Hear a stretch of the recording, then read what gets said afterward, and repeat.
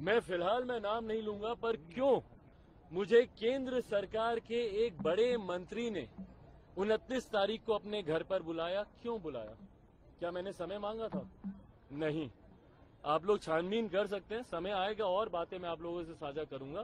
क्या मैंने समय मांगा था? नहीं। क्या मैंने आग्रह किया था वहाँ पे जाके कि मुझे और समय दिया जाए? नहीं। क्यों मुझे उस बड़े मंत्री के द्वारा उनतीस तारीख को बुलाया गया? बुलाकर क्यों मुझे आश्वासन नहीं? वादा किया गया कि घर को लेकर आप निश्चिंत रहें। घर आपसे नहीं लिया जाएगा। उस बड़े मंत्री ने, एक और बड़े मंत्री से फ़ोन पर मेरे सामने बातचीत क्यों की? और मैं उस वक्त अकेला मौजूद नहीं था। जिस मंत्री से मेरी मुलाकात हो रही थी और जब उन्होंने दूसरे मंत्री से बातचीत की, उस वक्त एक और सांसद वहाँ पर मौजूद थे।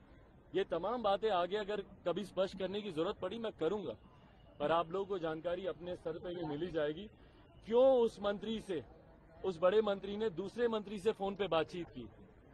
और बातचीत कर कर इस बात को तय किया गया और ये शब्दों का इस्तेमाल किया गया कि बिहार में अभी जो राजनीतिक परिस्थिति है, हम लोग को चिराग पासवान को नहीं छेड़ना चाहिए। भविष्य है बिहार का चिराग पासवान। ये मौजूदा केंद्र सरकार के एक बड़े मंत्री और मैं टॉप फाइव रैंक के मंत्रियों की बात कर रहा हूँ, छोटे मोटे मंत्री की नहीं। जो सरकार में निर्णय लेते मैं उनकी बात कर रहा हूँ। क्यों उन्होंने फ़ोन पर दूसरे मंत्री को ये कहा कि बिहार का भविष्य है चिराग, हम लोग को इनके मैटर में हस्तक्षेप नहीं करना चाहिए, मौजूदा परिस्थिति जैसी चल रही है, चलते रहने दिया जाना चाहिए।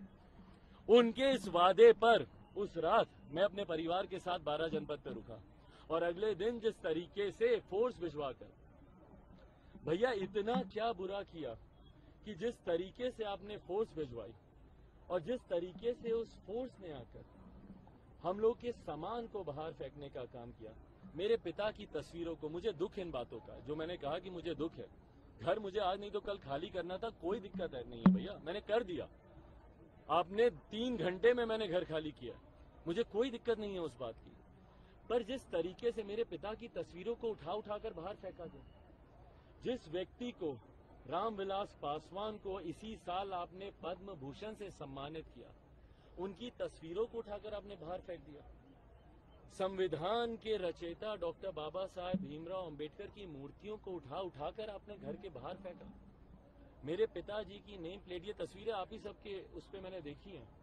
आप ही सबके माध्यम से मेरे पास वो तस्वीरें आई हैं क्योंकि मैं तो घर, दिन में ही घर से बाहर चला गया था। उसके बाद जिस तरीके से मेरे माता पिता के बिसौता नहीं किया। 2002 में अगर उन्हें घर की परवाह होती, मकान की परवाह होती तो कभी सिटिंग मंत्री के तौर पर वो इस्तीफा नहीं देते। उन्होंने केंद्रीय मंत्री पद से इस्तीफा दिया, पर कभी उन्होंने घर के लिए या अपने सिद्धांतों से किसी से समझौता नहीं किया। और आज वही लोग उनके भाई मंत्री बने बैठे हैं। भाई, ईमानदारी की बात है। ईमानदारी की बात है भैया, कि ये सब बिहार की जनता देख रही है। और खास तौर पर वो दलित महादलित समुदाय देख रहा है। वो पिछड़ा वर्ग देख रहा है। इसी घर से मंडल कमीशन की नींव रखी गई थी। बारह जनपद से ही मेरे नेता आदरणीय रामविलास पासवान ने पिछड़ा समाज को आरक्षण देने का काम किया। इसी घर से उन्होंने उस संविधान की रचना की जिसमें सबसे पहली बार उछड़ी ऊँची जाति के गरीब वर्ग के लोगों की आरक्षण की मांग की गई थी। इसी घर में दलित समाज हो महादलित समाज के लोग हो, उनके सम्मान के संरक्षण के लिए जब अनुसूचित जाति, जनजाति, एट्रोसिटी एक्ट को जब ध्वस्त करने की बात की गई, जब उसे धूमिल करने की बात की तो मेरे नेता ने उस वक्त भी बंगले की चिंता नहीं की, मौजूदा केंद्र सरकार को अल्टीमेटम देने का काम किया। और इस एस टी एक्ट को एस सी एक्ट को यथास्थित स्थिति में लाने का वहाँ पर निर्णय लिया गया। तो भैया, आज जब आप इस घर को छीन रहे हैं तो तमाम उस दलित महादलित समुदाय के लोग देख रहे हैं कि किस तरीके से जिसको आपने इसी साल पद्म भूषण दिया उसकी बीवी को आपने कैसे धक्के मारकर घर से बाहर निकाला उसके बच्चे को कैसे आपने निकाला? तो भैया जब ये लोग देख रहे हैं तो आने वाले समय में ये लोग भी आपको जवाब देंगे बताएँगे और ये जवाब खास तौर पर उन लोगों को मिलेगा जो आज मेरे नेता की वजह से वहाँ पर मंत्री बने हुए